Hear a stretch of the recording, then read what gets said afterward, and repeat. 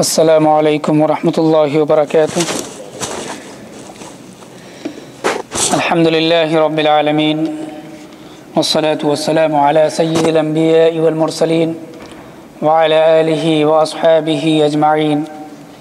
أما بعد فأعوذ بالله من الشيطان الرجيم. بسم الله الرحمن الرحيم. فمن يرد الله أن يهديه يشرح صدره للإسلام. ومن يريد أن يضله يجعل صدره ضيقا حرجا كأنما يصعد في السماء. كذلك يجعل الله الرجس على الذين لا يؤمنون. وقال عز وجل ومن أعرض عن ذكري فإن له معيشة ضنكا ونحشره يوم القيامة أعمى. بارك الله لي ولكم في القرآن العظيم ونفعني وإياكم بالآيات والذكر الحكيم. Dear brothers and sisters in Islam, last week we talked about one of the two phenomena of human personality, and that was the desired happiness, one aspect of human life.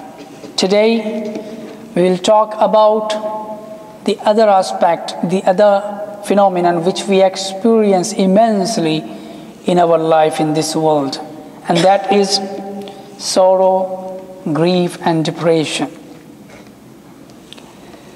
If we take a just and unbiased look at the current situation and condition of mankind, generally and Muslim particularly, in an era of technology, where technology has reached its advanced and the civilization has reached its most civilized and advanced level in economic, medical, and political and informational terms, we'll find that this worldly knowledge, development, and information remains insufficient and deficient and inept because it cannot produce even a single human being who can realize the reason of his creation. On the other hand, this is a fact that we cannot produce the reason that why the ignorance and illiteracy is widespread. We cannot produce the reason that why so much poverty is rampant at a time of abundant resources in this world. Why unemployment is overwhelming at the time of mass production and manufacturing? Why is this thing happening while we have everything, latest technology, latest information? We are most developed nations of any age. Why this thing is happening? We cannot deny the fact, and we don't need to prove this the many evidences to prove that we are going through a phase, we are going through a phenomenon, the phenomenon of grief, the phenomenon of depression. As the analysts say that the previous era was the era of anxiety, and this era is the era of depression and grief. My dear brothers and sisters, this is a destructive problem, and this is one of the most common problems among the psychological diseases in the world. And this is continuously increasing. People are suffering it. An accurate international survey affirms that 10% of world's population suffer from this problem. And which, which, which notes the fact that that the millions of people are suffering from this depression and grief. And this is irony, this is a very surprising thing that this phenomenon, this grief and depression starts as the younger age. Besides the fact that this problem happens in females two times more than males. And we know the reason, and the reason is that they have drilled from their mission, from their natural responsibility, from their natural duty assigned by Allah subhanahu wa ta'ala to them. Instead of raising their kids inside the house, they are going outside. They are entrapped by the dazzlement of the worldly life. They have forgotten their role to play in this worldly life and as a family member. And that's why this depression, this grief is two times more in them in comparison to men. Moreover, the ratio of suicide is increasing. It's about 800,000 annual, as a report says. And besides the fact that 80% of those people who suffer from depression and grief, they do not visit doctors to report and solve their problems. 80% of those people who suffer from these things. Besides this fact, annual report says that it's 800,000 cases of suicide have come to notice. And this is because of depression. And this is not a, a, a, a mysterious kind of disease. This is not a phenomenon which we can say that it is hidden or we, we know, do not know the result of it. The result is known. It's very much expected. When the people become more obsessed with the worldly life, with the dazzlement of this world, and they busy, they become busy in gathering and collecting the money and worldly gains, worldly luxuries. When the people becomes purely materialistic, indulging themselves into this world. And this is besides the fact that the problem differs from one country or from one community to the other and, and become the weakness of the iman among the people is very important for this reason to happen. People are weak in their iman to Allah subhanahu wa ta'ala, in their iman to His messengers, to His angels, to His books, to the last day, and to the divine decree, qada and qadr. And that's why they become more prone to experience this destructive disease which we call depression and grief. And the grief is something which human being feels due to their common problems as they feel happiness out of joy. Out of happiness, when, when they feel good, they feel happiness. And when they suffer from problems, they feel grief. And it is when, when it increases and it overcomes a person, it becomes depression. And it is the level which is considered the highest level of grief. And the result of which, which is despair and loss of joy. When a person becomes depressed, he loses his hopes. He becomes despaired, depressed, and he loses the joy of happiness and interest in this worldly life. And this problem, this phenomenon of depression, is accompanied by headaches, back problems, ulcers, and other symptoms like that. And at the same time, the person who suffers from it, he loses the taste of joy and happiness at the same time. And it also includes laziness, loss of energy, and hatred towards life. And that's why the people who suffers from depression and grief, they are more inclined towards committing suicide. They think that there is no point of them living this worldly life. Imam Ibn al-Qayyim al-Jawzi rahimahullah said that four things destroy the body. Grief, anxiety, hunger, and loss of sleep. These are four things which destroy the human body. But what is the solution? Applying medical resources, medical treatment with a religious foundation extracted from the book of Allah subhanahu wa ta'ala and the sunnah of the Prophet Muhammad sallallahu alayhi wasallam becomes more vital because it is the most perfect and most safest way of treatment. When, especially when, we, when, when one compares it with the, with the treatment, with the cure found, with more tranquilizers and drugs and medications found in the markets. And which the human body becomes addicted to one day. That unless they take the drugs, they don't feel safe, they don't feel happy, they don't feel relaxed. And which results in making their conditions more worse and more serious than the depression itself. because they have become habitual and addicted towards taking those drugs in order to relieve themselves, to make themselves comfortable. And uh, some medical report says that as a cure, as a treatment for depression and grief, that one should do the swimming and one should busy, make oneself busy to do more housework. It feels ridiculous that a person who is suffering from this kind of problem, he becomes busy and he remains in the swimming pool all the day in order to relieve himself or constantly working in the house. Rather, it is well accepted that a person who remembers Allah subhanahu wa ta'ala while go, standing, sitting, lying down, he feels relaxed, he feels happy, he feels comfortable from whatever he is suffering from. And Allah subhanahu wa ta'ala described it.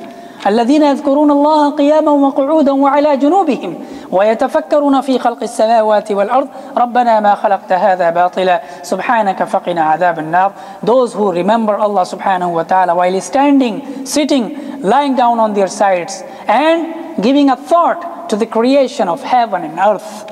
And they say, Oh our Lord, you did not create this aimlessly. Exalted are you, then protect us from the punishment of fire. So, my point here is that it's very important to go through medical treatment for these kind of problems, but at the same time, we should not forget the spiritual treatment of the same problems. It is equally important. If we attach ourselves with the remembrance of Allah subhanahu wa ta'ala, automatically we will cure ourselves spiritually from these kind of diseases. But here, one may ask the question that, okay, we understand that these kind of problem exist in each, in, in, in the lives of people.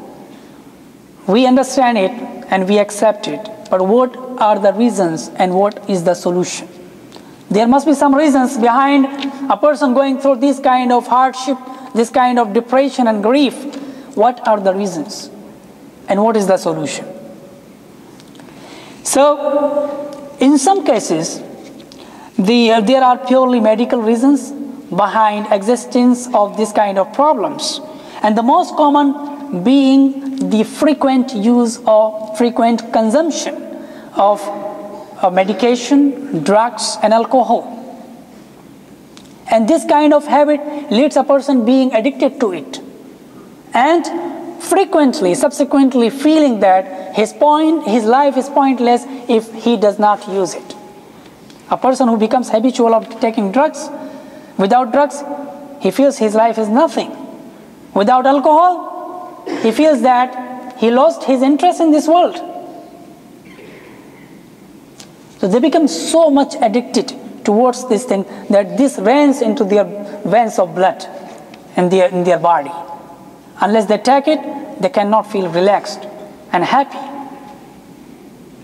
They become so restless to the point that they become agree to kill or to be killed to get that thing back and to use it. And one of the reasons may be that depression takes place due to heredity. A person takes it from his genes, through his genes. It is in his, in his blood. But here we'll talk about some of the reasons mentioned, addressed by Quran and the Sunnah of the Prophet Muhammad wasallam. And one of the reasons of happening this kind of depression, grief is the heedlessness of heart. The heart, heedless heart, which is reflected by the heedlessness of tongue, is an indication of depression and misery among a person who is afflicted with it. And this is what Allah subhanahu wa ta'ala mentions in Quran. وَمَنْ أَعْرَضَ عَنْ ذِكْرِي فَإِنَّ لَهُ مَعِيشَةً ضَنْكًا وَنَحْشُرُهُ يَوْمَ الْقِيَامَةِ أَعْمَى And whosoever turns away from my remembrance, ومن أعرض عن ذكري فإن له معيشة ضنكا ونحشره يوم القيامة أعمى Indeed, we, he will have a depressed or difficult life. And on the, day of, on, on the day of resurrection, we will raise him blind. Allah subhanahu wa ta'ala says that ألا بذكر الله تطمئن القلوب that with the remembrance of Allah the heart finds contentment and satisfaction but if you turn away from the remembrance of Allah then your heart will be blind. It will die a natural death in this worldly life, and then on the day of resurrection, you will be raised blind. This is a result of depression. You will have a depressed, a difficult life if you turn away, if you become oblivious of the remembrance of your God who created you, who bestowed upon you with every happiness, with every blessings, with every mercy you are enjoying in this worldly life. And in a hadith of Prophet Muhammad sallallahu alaihi wasallam, narrated by Musnad Ahmad, in which the Prophet Muhammad sallallahu alaihi wasallam says that why a person suffers from depression and grief, he gives a reason that if the if a slave sins increase and he does not have enough good deeds to wipe them out, Allah subhanahu wa ta'ala inflicts him with grief and sorrow so that his sins will be wiped out in this worldly life. So the hard times, the sufferings, and the problems we are we are having in life, we should analyze our amal, our deeds. Are we leading our lives in accordance with the commandments of Allah subhanahu wa ta'ala and following the sunnah of the Prophet Muhammad sallallahu alayhi wa sallam? Why this thing is happening to us? So this hadith very much tells us that if something wrong is happening to us, maybe because of our amal, because of our deed, because of something we have done which is not in accordance with the Sharia of Islam. My dear brothers and sisters, this is one of the reasons. Being anxious, being worried about the future, that what the future holds for us, where, what is lying in there for us, a fear of losing our, our job, losing our uh, livelihood, the means of our livelihood. We are worried about it. And then we become anxious. And this leads us to depression and grief. This is one of the reasons. And some people worry that what will happen if I have some problem in the future? If he faces with disaster, calamities, or problems in his life, he becomes restless. He becomes hopeless. And he loses all the hopes and energy. And in the process, he becomes depressed and he falls in grief and sorrows and lives the hope in this worldly life. And at times, sometimes he becomes so much in frenzy that people try to find out secluded place. That if they find, they find some cave, they will hide themselves in. Or any concealed place where nobody can see them. They want to run away from those problems, those hardships. But they do not know that they sit at their hearts and minds. It cannot go away unless they seek refuge from Allah subhanahu wa ta'ala. This is one of the reasons. At the same time, bad dreams, which shaitan instills in the mind, in the, in the sleep of a person when he sleeps, and instills the sorrow and grief in his heart. This is one of the reasons. And that's why we see that there are so many people who have a very restless sleep in their nights. They are unable to sleep. And this is a fact because Prophet Muhammad wasallam informed us that when a person sleeps, shaitan visits and try to instill in them the feelings of sorrow and happiness. And that's why it causes them a restless sleep. This is one of the reasons. And as we discussed last week also, other reasons that lead to depression is our debt, which a person is not able to pay, cowardliness, or when, when he faces some, some, some problems, when he faces fear, he becomes cowardly. Similarly, he becomes stingy. The stinginess is also a cause of depression when a person has a mind of collecting so much wealth and he fears that he will lose it one day. He becomes restless. He becomes too much protective of that thing that he loses his sleeps, he loses his peace of mind and heart. And it leads him towards separation and grief. This is one of the reasons. And these, these proofs, the cause of the grief and sorrow, the death, the stinginess, the cowardliness, inability, these are some of the things pointed out by hadith of Prophet Muhammad which I pointed out last week. That very famous hadith, Abu Umama was sitting in Masjid Nabawi one day. Rasulullah sallallahu alaihi wasallam came and he said that, Oh Abu Umama, why are you sitting when there is no time for salah now? He said, Ya Rasulullah, I have a debt to pay off and I am grieved. I'm sorrowed, I'm sad. I have a heavy heart. Rasulullah sallallahu alaihi wasallam said, should I not inform you that a dua to a thing that if you do it, Allah subhanahu wa ta'ala will pay off your debt and you will be relieved. You will be recovered from your sorrow, from your grief, and from your depression. He asked, Ya Rasulullah, tell me. Rasulullah sallallahu alayhi wasallam said, Abu Umama, read this dua after Fajr and after Maghrib. اللهم إني أعوذ بك من العجز والكسل اللهم إني أعوذ بك من الهم والحزن وأعوذ بك من العجز والكسل وأعوذ بك من الجبن والبخل وأعوذ بك من غلبة الدين وقهر الرجال Oh Allah, I seek refuge in you from grief and sorrow. I seek refuge in you from stinginess and from inability. I seek refuge in you from being overwhelmed of death and from the being overwhelmed of, from people. This is the dua. My dear brothers and sisters, there are, these are some of the reasons, and the solution lies in connecting ourselves towards Allah subhanahu wa ta'ala.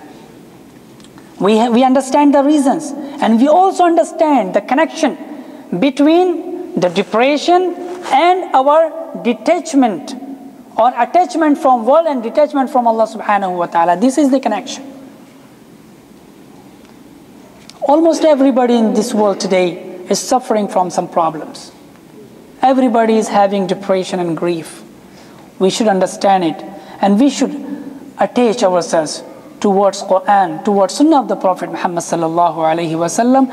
If we do so, Allah subhanahu wa ta'ala will relieve us from all worries, from all griefs, from all sorrows which we are exper- experiencing in this worldly life. May Allah subhanahu wa ta'ala enable us to understand Quran. May Allah subhanahu wa ta'ala enable us to attach ourselves to the deen of Allah, to the commandments of Allah, and to the sunnah of the Prophet Muhammad sallallahu alaihi wasallam, so that we can have a peace of mind and heart, and we can feel the happiness, we can taste the joy, the joy and happiness of this worldly life, and we can take the salvation, we can be rewarded with the salvation of Allah subhanahu wa ta'ala on the day of resurrection. وَمَا عَلَيْنَا إِلَّا الْبَلَاغ وَالسَّلَامُ عَلَيْكُمْ وَرَحْمَةُ اللَّهِ We have five minutes for sunan inshallah.